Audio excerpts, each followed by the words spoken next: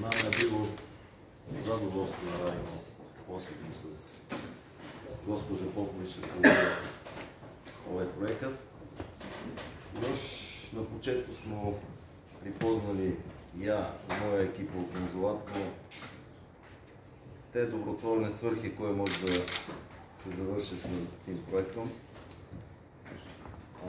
Све е било перфектно изпълнено от ваша страна захвалям се и за То Министерство спорни Косово Република Български е повече да се залаже за такви проекти, което е на мен е ни да града неке мостове, не само измежду Сърбия и Българска, но и измежду Сърбия и Европска уния. И е, как я кажем, Природно место Србije в Evropskoj uniji i što pre се надам да стигна до там.